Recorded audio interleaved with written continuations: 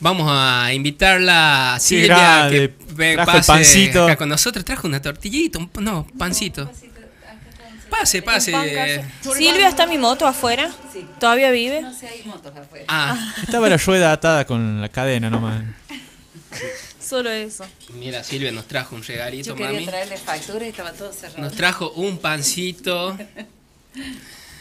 Mira. Hola, sí. ¿Cómo está? Buenas tardes. Muy bien, hola, Silvia. Flor. Hola, Sil. Tanto tiempo, sí. Sí, hace mucho. De la Van Premier. ¿fue? De la Van Premier. ¿O no? De Sí. la casa de Víctor que fui también. Eh, El- Los auriculares. Dale. Ah, ok. Más cerquita. Ahí está. gracias, señor. Muchas gracias. Sil, directora del Jardín Jugando, colega. Con, ¿Sabías que con Sil nos conocimos haciendo teatro?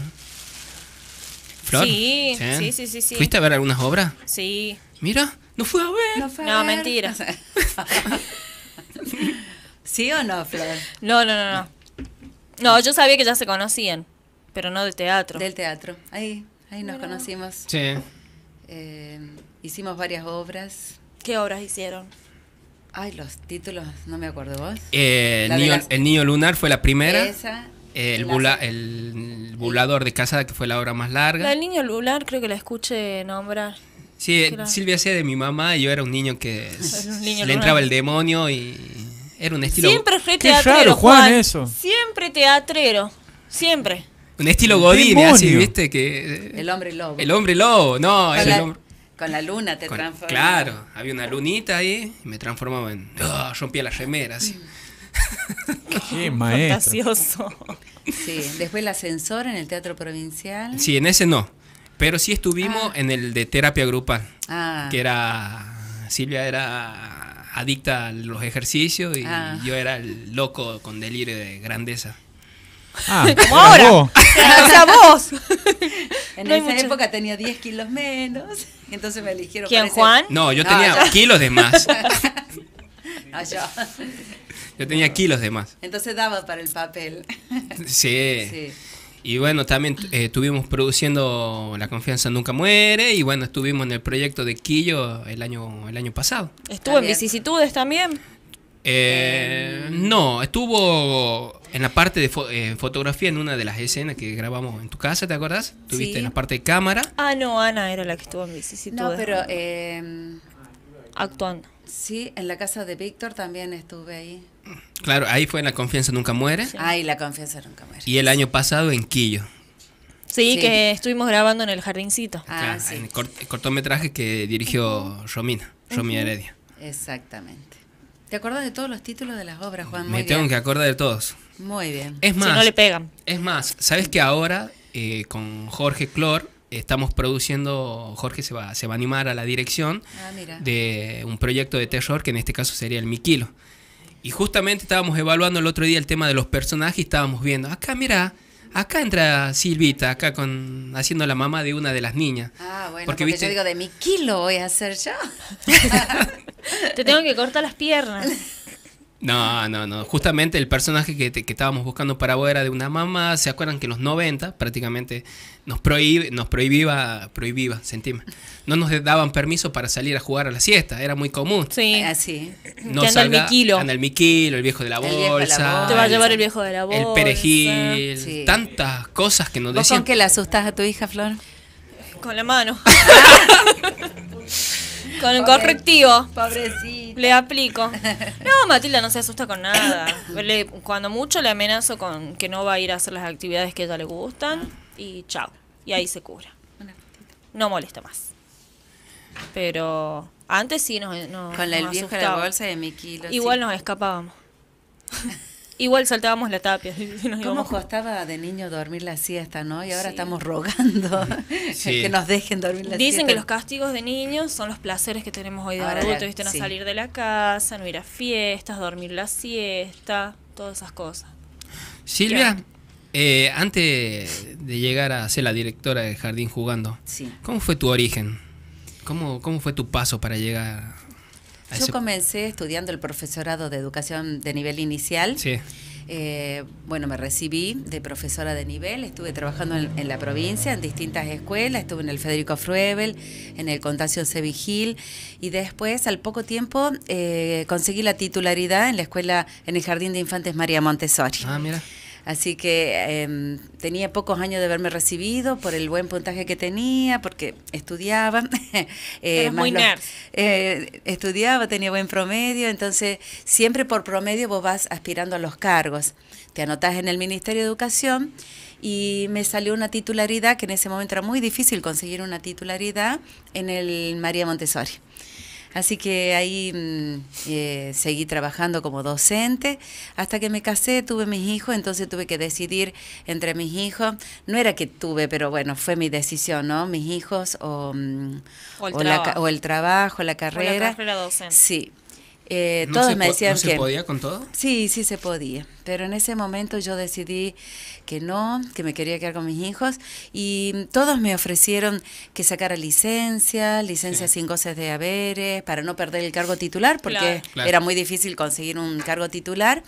Pero mm, lo evalué, la verdad que me costó mucho, estuve bastante angustiada porque tomar decisiones, ustedes sabrán que no es nada fácil cuando tienen que elegir y uno no sabe en el futuro qué va a pasar. Sí. Y bueno, decidí por, mm, por la construcción de una familia que después con el tiempo eh, fue positivo porque tuve varios inconvenientes eh, con, en este momento es mi ex marido, en este momento estoy separada, eh, con graves problemas de salud, o sea que eh, iba a vivir de carpeta médica y no es justo eso para ninguna institución, ¿no? Ustedes Claro. saben que es lo que reniega el gobierno de en una misma sala está eh, de licencia la docente, después saca de licencia la otra, El la que la suplente, la suplente sí. y entonces están pagando tres eh, puestos o tres sueldos en un mismo cargo y no corresponde. Así que después el tiempo me dijo que había tomado una buena decisión de haberme apartado porque eh, no iba a cumplir como tenía que ser por Claro. porque tenía que atender otras razones de salud, he pasado situaciones bastante complicadas, así que bueno. ¿Vos cuando la- te apartaste ya tenía, ya ibas con otras proyecciones para, para en tu cabeza? En mi jardín, no. Sí. Ah, Recién estaba iniciando. Ah, ¿eh? bien. Tenía 23 años en ese Ah, qué momento. jovencita. Sí, tenía es 23. la edad de Para mí esa es la edad que hay que proyectar, Sí, empezar a... Sí. Y en ese momento era eh, trabajar como docente, bueno, uno que aspira cuando ingresas en el sistema educativo, eh, llegar a, a concursar un cargo directivo y después, bueno, la supervisión, esa es la carrera docente que podés hacer dentro de las instituciones. Y después con el tiempo pasaron, no sé, muchísimos años. Yo ya tenía mis cuatro hijos, tengo cuatro hijos. Eh, me encontré en la calle con una compañera, me dijo que se había abierto en la Universidad Nacional de La Rioja la licenciatura del nivel inicial y mm, bueno, me anoté y se, me estoy saltando una etapa. Eh, cuando ejercía como docente y trabajé en el, en el Jardín Federico Fruebel, me pusieron eh, en esa sala todos los niños, como yo era la nueva, la que ingresaba al Jardín Federico Fruebel, me pusieron todos los chiquitos que tenían eh, inconvenientes, los que tenían problemas de conducta, los que no se Todas las adaptaban. flores, todas las florcitas pusieron. Sí, Oh. los, los que no- y Fíjate. tenía 10 niños con en esa época les estoy hablando de muchos años atrás no vamos a- no me pregunten la edad Ah. No, pero, no, ya tenemos muchos años encima Eh, en ese en esa época no se conocía lo que era el autismo eh, siempre eh, se lo caratulaba al niño como el niño inquieto el Sí. molesto Rebelde. el rebelde y nadie sabía claro eh, eh, cómo ayudarlo y cómo apuntar porque no en ese momento no teníamos las herramientas como para poder ayudarlo Y la información. Totalmente. Y en ese momento, dentro de los 10 pequeños que tuve que derivar a varios gabinetes a los chicos, a hablar con las familias, me tocó un niño con autismo, Sí. que en ese momento eh, no se sabía nada y acá en La Rioja no, eh, no, no se sabía. Entonces me puse a estudiar, a investigar. En esa época, chicos, no estaban los celulares, que uno hace así, tic, tic, tic, Googlea y y ya todo. está. No, entonces había que mm, eh, recurrir a, a los diccionarios, a la bibliografía.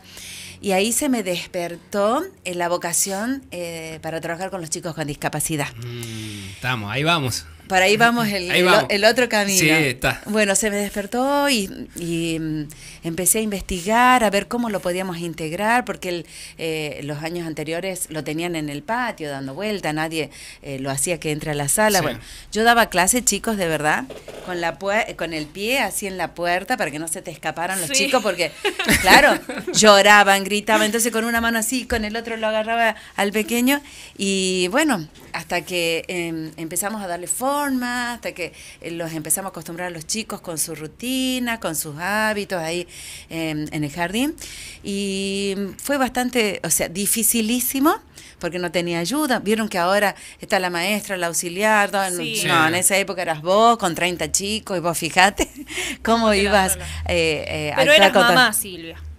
En ese momento todavía no. Ah, ¿no? Después fue, por eso dije que me había salteado. Sí. Antes de elegir por la familia, yo eh, hi- hice la, la carrera de maestra jardinera.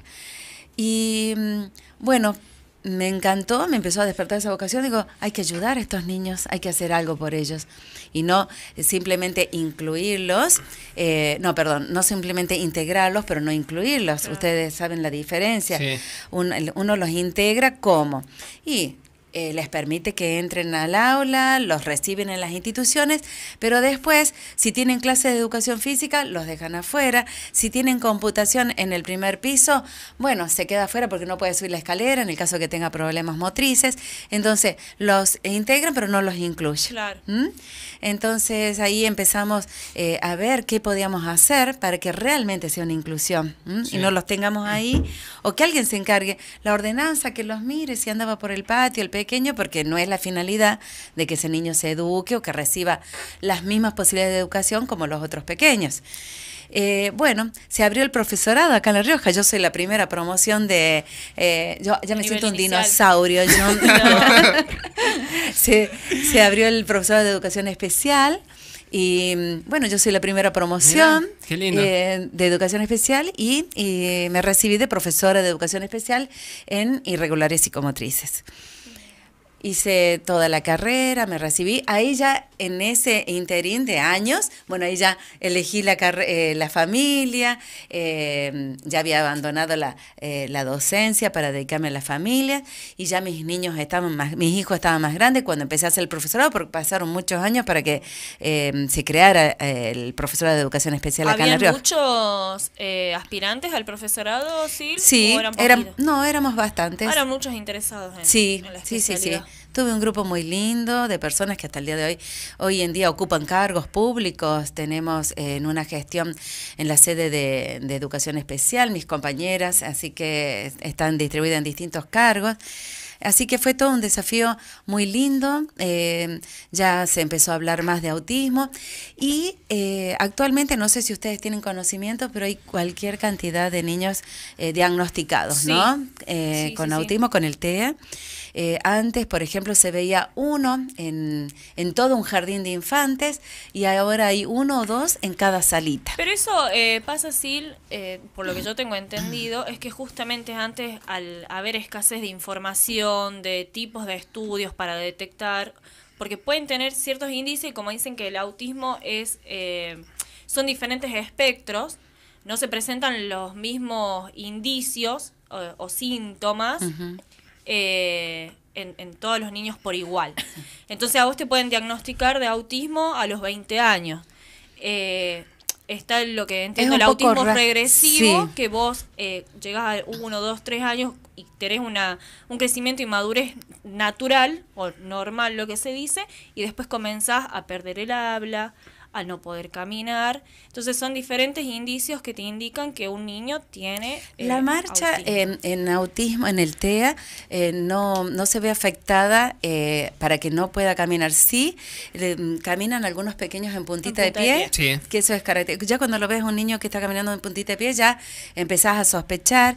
Lo que sí quiero dejar claro acá, que nosotras como docentes del nivel inicial, que somos los que los recibimos, ¿no? Y es el primer contacto que los pequeños tienen con lo social, ¿no? Es la, de la casa pasan a la institución educativa. Como docentes, nosotros por más que veamos eh, ciertas características, no podemos decir, este niño tiene autismo, este... no. Claro. Eh, Tiene que ser un médico eh, el que diagnostica. Nosotros podemos ayudar a esa familia a que los lleve a controles, a que le hagan o que les den un diagnóstico. Muchos años acá en La Rioja tardaron mucho, mucho tiempo para diagnosticar. Los pediatras no, no, no, no sabían cómo o les decían, ya va a pasar, ya van a ver que, Sí. que va a reaccionar, porque ¿cuáles son las características que tenemos que estar atentos como mamá? No responden al nombre, entonces empiezan a asustarse, dice, tienen problemas auditivos, empiezan a descartar, los llevan eh, al otorrino, eh, después eh, lloran, se asustan con los ruidos altos, eh, con los ruidos fuertes, perdón. Entonces hay ciertas características que a través de, de un buen diagnóstico se puede llegar, por supuesto, el médico a decir que eh, ahí donde se diagnostica que es un, un TEA. Claro. Y hoy, en la actualidad, hay muchísimos niños en las instituciones educativas, pero ya eh, es más fácil porque ya entre el 1 y 2 años ya se puede eh, diagnosticar y ya cuanto más temprano comiencen con el tratamiento, mucho va a ser, eh, mucho mejor va a ser su evolución, ¿no? Y, y su aprendizaje. Hay aprendizajes, perdón. Hay niños que llegan a completar la escuela primaria y secundaria, eh, que tienen TEA.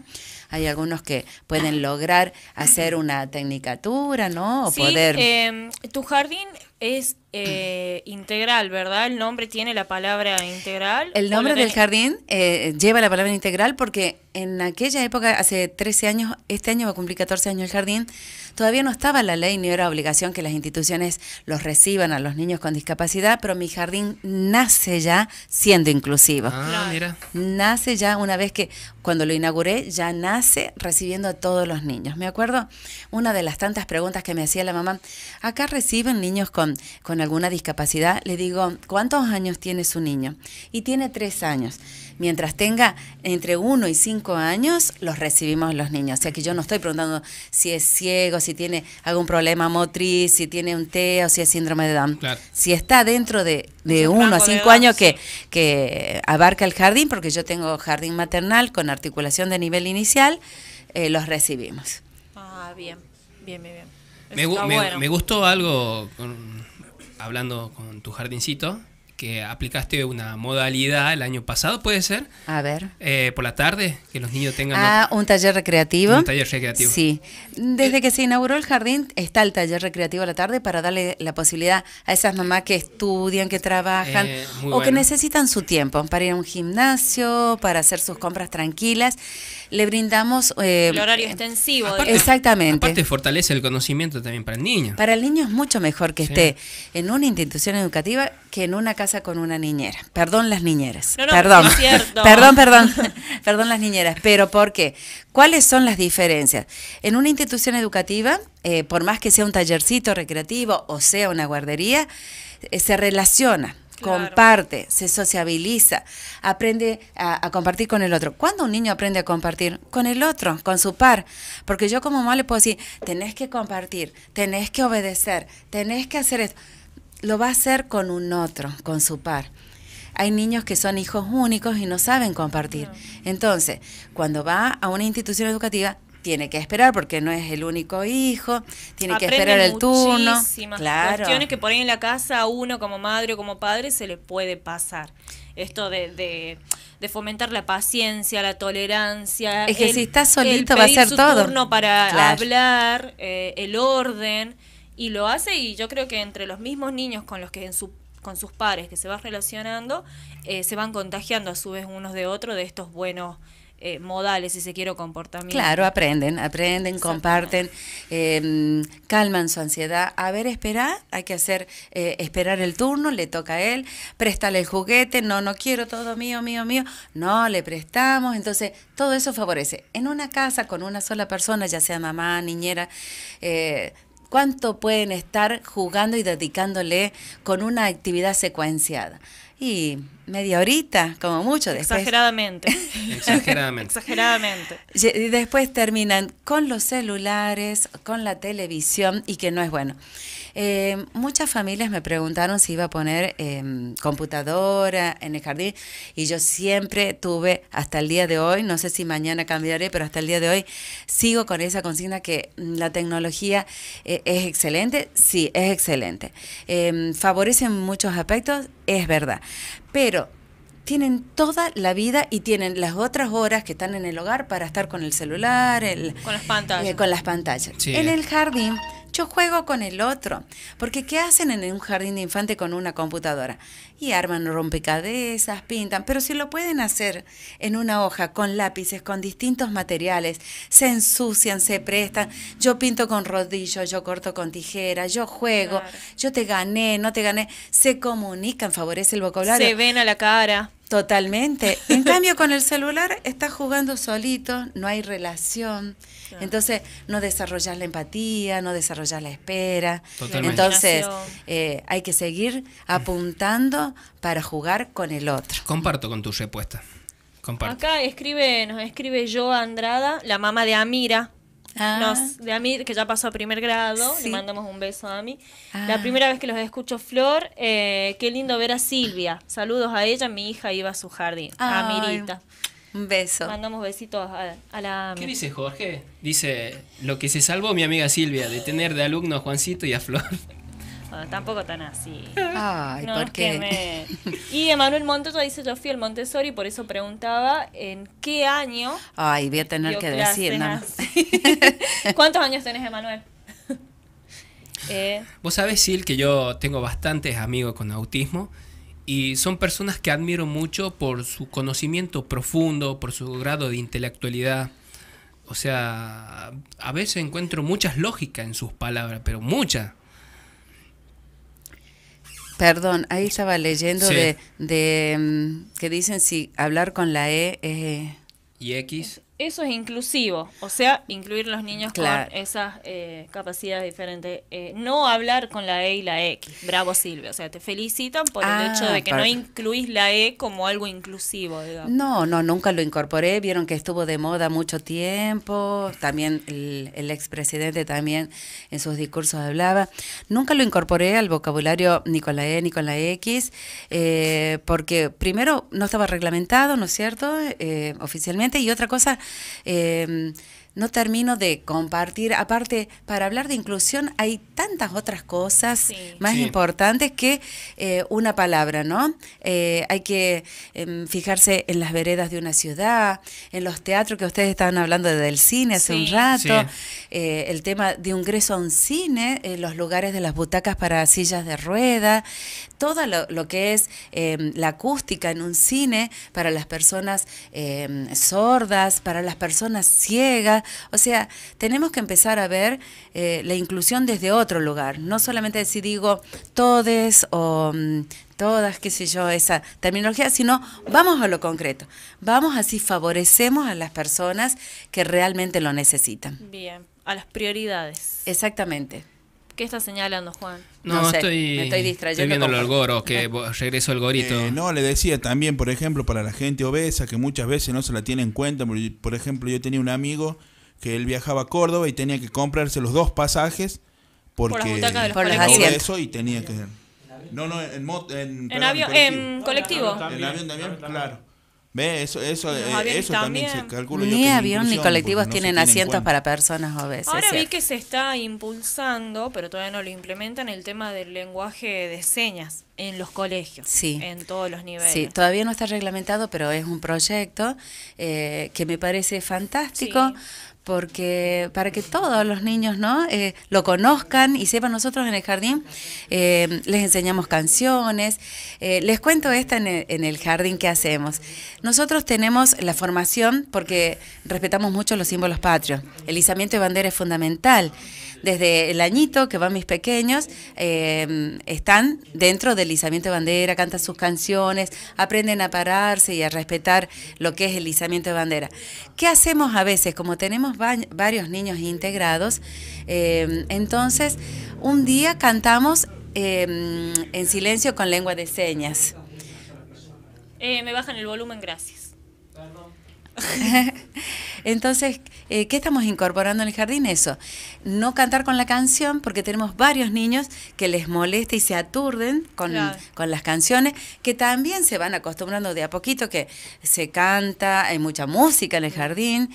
Entonces, hacemos un día con lengua de señas, el izamiento de bandera en silencio, y cómo saludamos, porque siempre cuando termina la canción aplaudimos bien, eh, que terminó. Entonces saludamos Los con los aplausos así. Y desde pequeñitos ya lo van aprendiendo y en el izamiento lo tenemos eh, a las mañanas eso. Entonces ahí también vamos aportando para eh, un poquito de inclusión para todos. Y ¿no? mientras más chicos son, más rápido lo, lo aprenden, Sí. lo incorporan al Y conocimiento. Ahí ellos son contestó los- Emanuel, 39 dice que tiene. 30 O sea, iba al jardín... Montessori, Sí. 39. ¿Yo en qué año estuve? Estuve en el 89, creo que estuve, en el María Montessori. Capaz que sí, entonces. Capaz que sí. Pobre Silvia. ¡Ay! No, mentira, sí, no. Silvia. no, no, no. sí. Eh, ¿Escribiste un libro también? ¿Puede ser? Un libro de cuentos. Un libro de no cuentos. es lo mismo un libro que un libro de cuentos. No, pero es un libro de cuentos. es un libro de cuentos. Acá ¿Ya plantaste el árbol? Ya. ya. Cuando acá, eh, ¿cómo se llama el que estuvieron entrevistando a?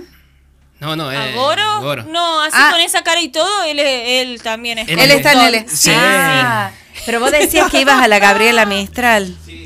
Bueno, mis hijos fueron a la Gabriela Mistral y no sé si vos te acordás que habían comprado un campo donde el proyecto de la escuela... Ah. bueno, ¿Qué has dicho, Otra Goro? historia. Para, para, para, ponelo. Quiero escuchar qué dijo porque no lo escuché. Tengo... Ah, Claro, habla en el Sí, no te escucho. Eh, gracias a que nos mandamos una en ese campo, eh, en ese tiempo nos llevaban a hacer jornadas didácticas, Sí. a conocer todo, tenían animales. Y ahí lo Eh, nos expulsaron. mandamos un... Re cheto. Hicimos algo malo en Es ese que- campo y bueno, y ¿Puedo saber? casi me expulsan. ¿Puedo saber? ¿O no? No se Ah. puede, sa- no se puede ¿Qué saber. hicieron? Claro. Nada, rompimos unas cosas ahí. Ah. Mirá, ¿por qué qué? dañino. Qué ¿Por dañino. qué? ¿Por No sé Muy por qué. te pregunté para que hable. No, Sí. no, no sé. Expulsado de nuevo. Expulsado, chao. Bueno, ahí sí plantamos un árbol porque en esa época eh, estaban forestando todo el campo. Ahora hacen fiestas y no sé si usted lo Ah, conoce. el campus de la Sí. De la Gabriela Mistral, Mistral, sí, sí. que tienen la pileta. Ah, ya lo conoce la Flor, Se hacen boliche. Sí, es que hacen- Sí, sí, sí. Ahí ya conoce ya. Juegan a la Eh, yo pelota. participé, a nosotros nos eh, pusimos las plantas que están en la entrada del campo. Hablar al. T- Todavía no me habían cogido cuando hicimos eso. Cuando- sí. Una y una, así. Y ahí nos invitaban a todas las familias a que Sos llevemos un de una árbol. planta de ahí. Y, y bueno, eh, así que sí planté un árbol con mis hijos en la Gabriela Mistral. Ya tuviste el libro. y este es el, el libro de, de cuentos que, que escribí. Tengo varios cuentos ahí que voy a ver si los, lo hago. ¿Cómo eh, se llama? el El, elefante elefante, que que, sabe sabe los los colores. Bien. Ah, les quiero contar un detalle de este libro. Eh, Vieron que como buena maestra jardinera, todas sabemos dibujar, o bueno, la mayoría se supone, que te- porque es una herramienta fundamental para hacer frisos. Vieron que siempre hacemos muchas tarjetitas, tenemos que hacer toda la decoración. Bueno, eh, yo digo, no, como es mi primer libro de cuento, voy a llamar a una persona que es importante acá en la ciudad de La Rioja, que es Marisela Andrada. Mira. Ella es una artista muy conocida, donde se destaca por sus murales, sus diseños. Eh, ella también eh, tiene vestuarios. Creo que am, Nati no, de la Vega, ¿cómo se llama? Eh, la cantante. Gloria. Gloria de la Vega, creo que le hace, ella estrena los vestidos, sí. los vestuarios. Sí, sí. Me parece que es a ella. Y mm, ha pintado también el mural ese que está en el, en el café de la plaza. ¿Vieron Sí. la, la pared que está ahí? Bueno, entonces la llamé a Maricel y le digo, Maricel, me encantaría si vos me podés hacer los dibujos del cuento. Ella inmediatamente me dijo que sí, encantada. Entonces le mandé eh, todo el escrito y eh, eh, vieron que hay que separar por escenas, eh, qué, mm, qué personajes tienen que estar en cada escena. Entonces ella eh, co- eh, me, lo, me lo preparó, lo muestro así. Tan Sí, mira, ahí tenés la, la cámara al frente, sí, por las dudas. Ahí en- al frente, mira. Frente tuyo. Acá. Ah. Ajá. Ahí ¿Y está. por qué no me veo yo? Sí, sí te ves. Ah, ¿Ahí? no, no, no, no. No, ahí ahí no. se ve Acá, oscuro. acá. Bueno, estos son todos los diseños. Miren, este sol Es característico de Maricel. Ella ya le puso su impronta al cuento porque todos los diseños de ellos tienen que ver con esto, ¿no? Con la tierra, con, con lo, eh, lo, lo nuestro. Sí. Sí, Así que- el tamaño del libro. ¿Tiene algún motivo? eh, por justamente que es, es bien grande. Bien grande. La idea en el nivel inicial que si son grandes mejor porque vos tenés, vos estás sentada o en el piso, en una sillita y tenés entre 20 y 25 chicos, no veo, no, si es un cuento así chiquito, Claro. vos te pones así a contarlo, el que está ahí no lo ve, el que está, no lo veo, no la veo, no la veo. Entonces, eh, gracias. Entonces, lo mejor eh, son los cuentos grandes. Grandes. Pero si es chiquito, vos como docente tenés que buscar la estrategia para ir rotando, levantarte, lo que le digo yo siempre a los docentes, no hay que estar sentada, hay que hacer uno- eh, eh, mímicas, onomatopeyas, pararse, Claro, más correr. dinámico. Exactamente, ir contando el cuento, ir eh, mostrando las, la- las escenas, ¿no es cierto? Pero sí, en este caso, al ser mi primer que libro, van cambiando los colores de las letras, También. los tamaños, los tipos de letras. Sí. Bueno, ahí están todas las escenas del, del cuento. Y tuve el placer de poder contárselo a todos los chicos de jardín eh, para, lo- para ya estrenarlo. Ya lo Sí. escucharon. Sí. Genial. ¿Está a la venta el libro, Sil? Eh, ¿O solo lo mezquinas en tu jardín? Para tu jardín lo limitas a... ch- No, no está para los Fue otros. especialmente hecho para mi jardín. Para mi ay, ahora que decís así, mi hijo se, se burla de mí porque dice mi jardín. Cuando cumplió cinco años el jardín, yo escribí el himno del jardín. Sí. Y todas las mañanas lo cantamos. Y en una parte dice, mm, eh, mi, es, mi jardín es mío y de nadie más. Y dice, no puede ser. Y bueno, pero los chicos, eh, cuando son ¿Pero chiquitos, qué que dicen, esto es mío y na- de nadie más. Son palabras de los chicos. Ahora que dijiste eso, Juan, me hiciste acordar. ¿Viste? Pero mm, sí, me, me, me propusieron que lo vendiera. Tengo que ponerme las pilas y, y difundirlo y, y poder venderlo para que al Bueno, que le guste. difundir. Sí. Contáctenme para venta libre. ¿O no? Y sí, ya sé, ya después me, me compartís una copia para Matilda. Los dibujos son Pero tiene que hermosos. fomentar la lectura. Sí, creativos. Sí. ¿Cuántos años tiene Martín? Siete está cumpliendo hoy. Sí, sí, ya lee hoy. Oh, Ya lee la muy Ya grande. empiezan con la tabla de multiplicar también. Ahí me quiero ver. Dios mío. Ahí voy a poner a prueba mi paciencia y tolerancia. Sí. Algo que vi tan lejano, lo tengo acá, ya. La- las tablas de multiplicar. Juan, ¿qué estás en- No, porque... el lenguaje de señas? o No, también? estoy comunicándome con la mirada con Goro. Chao. Oh, ni con tus ex te atreviste a tanto. No, era, le quería preguntar a Silvia, si bien ella está con los, más con los niños, ¿qué opina sobre la ESI? Bueno, eh, el ESI es una ley, de, es una ley, o sea que es eh, obligación que todas las instituciones educativas y de todos los niveles eh, se lleve a la práctica, eh, se dé en las instituciones educativas. Cada nivel, por ejemplo, el nivel inicial tiene su bibliografía, eh, la primaria tiene su bibliografía y la secundaria también y el profesorado. Eh, eso está establecido desde el Ministerio de Educación, donde nos han capacitado a todo el personal de las distintas instituciones para poder llevarlo adelante. Eh, ¿Se implementa? Sí, ¿Se Sí. implementa? Ah, Sí. porque eh, es lo con, que siempre duda la gente, viste, que si se sí, implementa o no se Los implementa. Se que tengan tiene- chicos escolarizados, o sea, en Lo el tiene que- personal de sí. escuela, sí. se están implementando. y Desde el la- jardín. desde el jardín, sí, por eso digo que tenemos la bibliografía Sí, acorde para los niveles, nivel. porque no podemos hablar de un ESI en, en niños de la primaria, secundaria, hablar de embarazos, de menstruación con niños de jardín de infante. Entonces, eh, cada nivel tiene su, eh, su bibliografía. Y nosotros eh, tenemos las capacitaciones que nos bajan desde el ministerio y después las jornadas de ESI se realizan en las instituciones educativas con todas las familias. Se invitan a las familias eh, de todos los estudiantes para que participen. ¿Por qué? Hay familias que les cuesta participar, que no van. Yo les aconsejo a todas las familias que participen de todas las jornadas que los invitan las instituciones educativas, porque de esa manera van a estar informados Claro. y van a saber cómo educan a su hijo, porque si no van a decir, ¿Qué les están enseñando? Y empiezan la gran fantasía. Les enseñan a, eh, a, del sexo, le- los No, van a no, confundir con sus elecciones en cuanto Y a vos, género.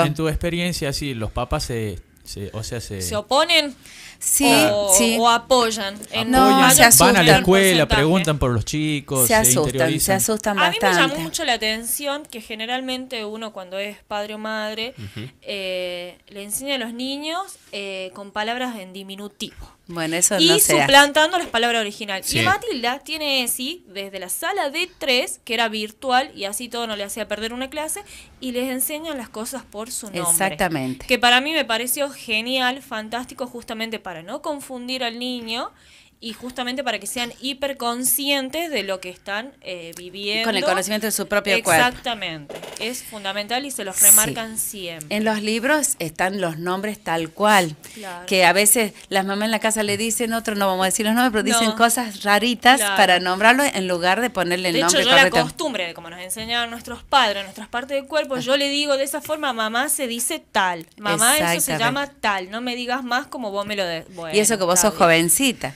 Pero no, no, no. La, sí, las familias un poco se asustan, algunas eh, se resisten. Por eso les decimos, ustedes tienen que ir a los talleres que se realizan en todas las instituciones, porque ahí es donde explicamos cómo se lleva adelante el ESI en las instituciones, cómo se lleva a cabo, qué se enseña y cuáles son los objetivos. Tengo, Silvia, yo te voy a hacer una última pregunta, Sí. que es el tema de la educación con el tema de los niños. ¿Qué diferencia ves vos desde el año 1, desde el jardín jugando, a hoy, futuro, hoy, digamos, actualidad? Desde cuando inauguré el jardín Claro, ahora. ¿cuál- ¿Qué diferencia vos ves en el tema de la educación de los niños? Eh, el comportamiento de los pequeños eh, se ve.